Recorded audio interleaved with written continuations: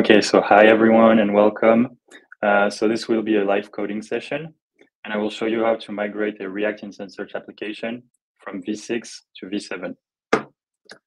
But first, let me introduce myself a little bit. So my name is Aymeric Giraudet. Uh, I'm live here uh, from Lille in Northern France, and I'm a software engineer in the front-end experiences team, the same team as Imogen, whom you just saw. But first, what is React Instant Search v7? Uh, so it's a new version that replaces both Instant Search v6 and in, uh, React Instant Search hooks. Uh, it's actually a rewrite uh, of React Instant Search v6, and it's now a renaming of React Instant Search hooks. So if you are using React Instant Search hooks, now it's very straightforward um, to upgrade. Um, so it comes with a lot of new features um, which are from Instant Search JS. Uh, the first one is uh, automated events. Uh, then there's also optimistic UI, built-in routing, and also React hooks, so you can so that you can build uh, custom widgets in a more composable way than before. And uh, while you were talking about Next.js in the chat, uh, we also released a new package, which is experimental still, um, but it allows you to use uh, React Instant Search with the new Next.js app router.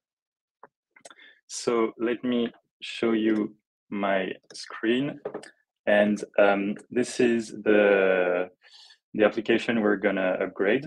Uh, so it's a e-commerce, simple e-commerce template um, it has routing, so we'll see first how to upgrade that routing. It has multiple widgets. Uh, we'll see how to upgrade the props and so on. And it also has some custom uh, widgets. For example, when there are no results, uh, there's this little um, thing widget, and you can clear the filters directly. And there's also some stuff for mobile. Um, so first step is to upgrade the packages. So React Instant Search DOM, uh, we, it no longer exists. Uh, we figured most people are using uh, DOM anyway, so now you just have to import React Instant Search simply. Uh, so as of today, the last version is 7.1.0, and as it already includes the typing, you no longer have to install a definitely typed package in your dev dependencies. So let's go ahead and install our latest versions.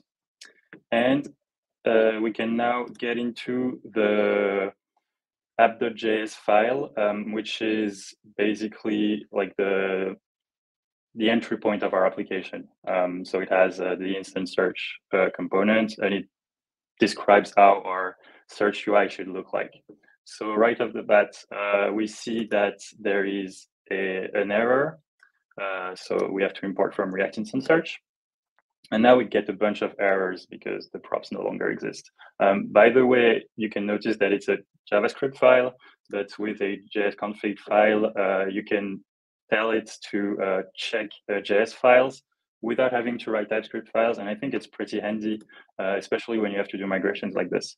Um, so first, we're gonna upgrade the routing. Uh, so with React Instant Search v6, there had to be a lot of steps to enable routing. Uh, you had to uh, do all the mapping yourself and so on. So in this example, there was a URL sync uh, high order component here, but we no longer need that. You'll see it's much simpler now. Actually, I can just delete this file here.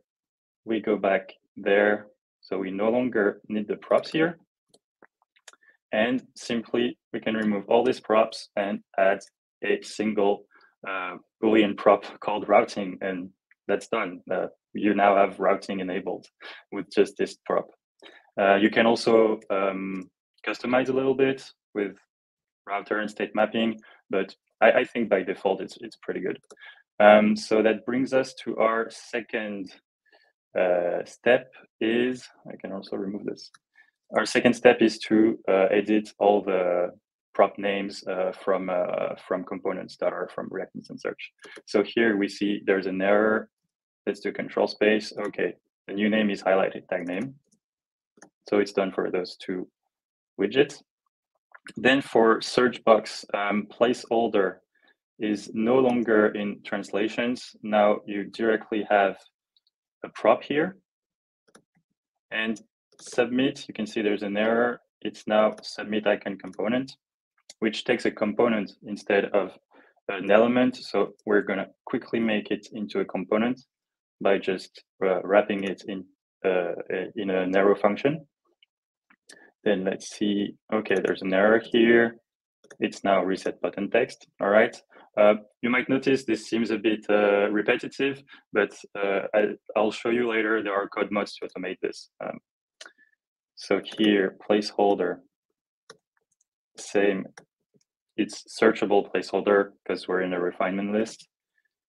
For toggle refinement, instead of value, it's now on. Uh, in this case, it's a Boolean facet, so it makes sense to have this on, but you can also, if you have, for example, for brands, you can set on is Apple, off is Samsung. Um, it's really up to you. But there are a lot of new props and uh, which allows you to like make better search UI. Um, then next is sort by. So a lot of widgets add this default refinement prop, um, but it's no longer the case in React Instant Search v7. Uh, now they are all uh, under the same prop in uh, Instant Search, which I will show you. So it's a prop called initial UI state, and it allows you to mutualize all your default refinements that you want. So here we'll say for the instant search uh, index, I want my default sort by to be this one. Great. And then we have a last error here, which is for hits per page, and it's the same uh, default refinement. But this one, hits per page, is a bit different. Uh, you can actually set the default right here in the items.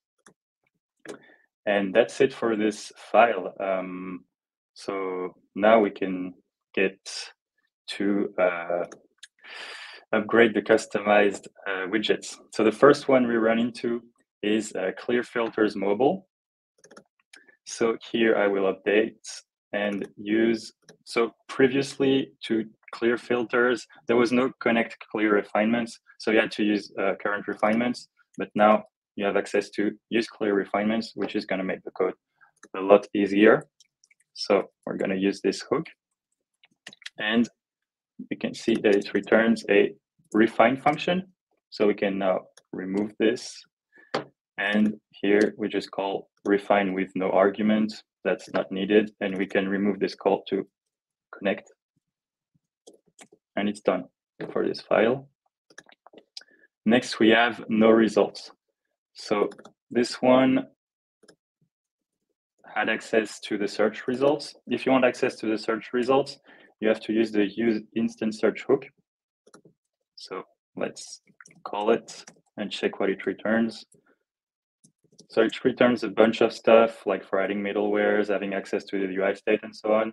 But uh, in our case, we're just interested in the search results. So I will rename it to search results so that we don't have to update all the code down below.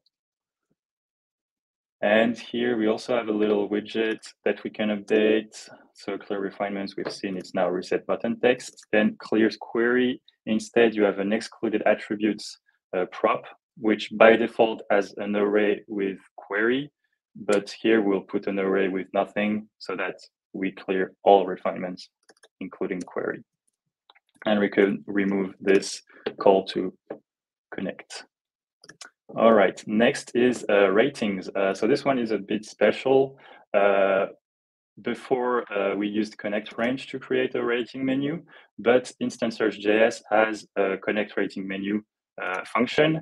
However, it's not available in React Instant Search, but I'll show you how you can use a very useful hook called use connector, which is at the base of every almost every hook we have, uh, which allows you to use an Instant Search JS connector, uh, whether you made it yourself or it's from a third-party library or from our own libraries, um, you can use them. So we'll do const equals use connector, and here I will say connect rating menu and it imports directly from Instant Search, which is very handy. And here props is going to be here so that we can pick up the attribute that's passed uh, in ratings. I will show you how it's used. You can see here ratings, attribute, rating. So it gives us access to uh, create URL that we need, items, and refine. Okay, so I removed, there was a lot of uh, of logic uh, that was previously needed, but now it's not needed anymore. So we're going to iterate over items. And this same, the logic is not needed anymore. You can directly see if the rating is refined by using rating.isRefined. Uh, same for calling refinement. It's much easier just to refine rating that value. And for the stars, the rating also has the stars in it. So we do rating dot stars, and it's a array of Boolean.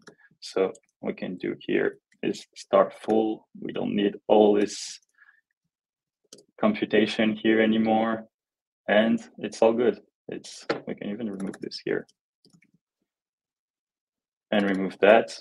And it's migrated to V7. And next is results number mobile. Um, so we have connect stats instead. We're going to use stats, but there's a little problem here. Uh, this is a class component. And as you know, class components, they cannot use hooks. So what we're going to do instead is we're going to create a high order component, kind of like connect stats. We'll actually name it connect stats, so we have to change less code. Uh, so it's a function that takes a component and returns a new augmented component. So it takes props. We're going to use use stats and return the component with the spread props and what stats returns. And that's it. Um, so now this class component has access to uh, what useStats return. And it's nice if you have like very big class components that you can't migrate right away.